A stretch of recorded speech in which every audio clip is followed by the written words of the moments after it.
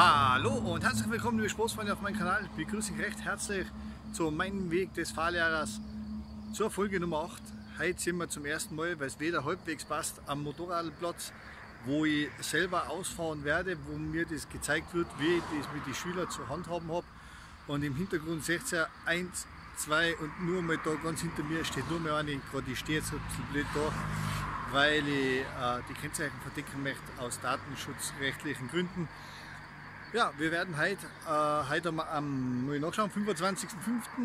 Wir werden heute eine Ausfahrt machen. Uns wird heute das Platzprogramm gesagt, mir und der Marion, äh, von unserem Ausbilder, von Axel. Und dann werden wir, schätze ich, wie ich das verstanden habe, eine kleine Ausfahrt machen. Und werde uns jetzt sagen, auf was wir halt aufpassen müssen, wenn wir mit einem Schüler äh, fahren. Entschuldigung in den Augen und weil ich keine Repulkappe aufhabe, ich weiß, das ist normalerweise untypisch für mich, weil wenn ich solche Videos mache, habe ich meistens mein allgeliebtes Red Bull Cabrio auf, aber ich habe heute daheim leider liegen lassen, weil ich einen Stutzhelm mitgenommen habe. Und der Stutzhelm ist echt besser auf dem Kopf zum Tragen beim Motorradfahren, als wir äh, ein Käppi. Ja, das, ich wollte jetzt gerade mal so ein kurzes Video machen, äh, wie es ausschaut. Äh, so, jetzt ist nur der ganze Autoparcours aufgebaut mit äh, der Reversiergasse, parallel einparken, äh, da hinten ist die Garage und dann, ich meine, man sieht die weißen Stangen da hinten äh, bis zum Schluss, wo zwei stehen, das ist dann Slalom und Tor, das ist so ein Parcours für die, was interessiert, äh, was in Österreich die Schüler fahren müssen, bevor das nachher mit dem Prüfer auf die Straße fahren dürfen. Ja, das ist jetzt eigentlich so mal im Großen und Ganzen das gewesen, was ich in, in dem heutigen Video mal so erzählen möchte. In vier Wochen ist Prüfung. Ich hoffe, dass ich es packe. Und sonst probieren wir es halt im Juli noch einmal. Es ist richtig viel Stoff zum Lernen. Es ist äh, jeweils das ganze Buch und alles schon zusammengefasst auf so viel Karteikarten und das Buch ist so.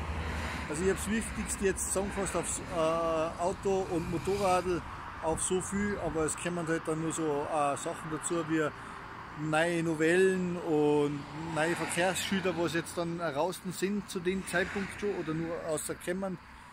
Es ist halt auch viel äh, Erklärungsbedarf, wie man es am Prüfer richtig erklärt, das, das fordert viel Schreibkram. Aber ich bin zuversichtlich, der Axel ist auch zuversichtlich, also werden wir das sagen, wir packen das schon und sonst geht es halt einen Monat länger. Na gut, ich wünsche euch was. Ich werde jetzt, auf jetzt dann nur auf die zwei warten, weil ich bin der Erste hier am Platz, deswegen mache ich gleich eben nächstes Video. Äh, ich hoffe, ich habe ein bisschen Spaß an diesem Projekt. Mein, mein Spaß ist, ich werde mir auch wahrscheinlich in die nächste Motorrad kaufen. Äh, wer da drüber ein Video sehen möchte, kann man sehr gerne unten in die Kommentare schreiben, äh, für was ich mich dann entscheide oder es könnt ihr selber raten, für was dass ich mich entscheide. Ich bin zwar Harley-Fan, aber die Geldtasche sagt zu Harley, nein, nein. Also wird es was anderes werden, aber es wird ein Chopper werden. Das könnt ihr mal so ein bisschen spekulieren, wenn es so jetzt in die Kommentare, was ich mir kaufen werde.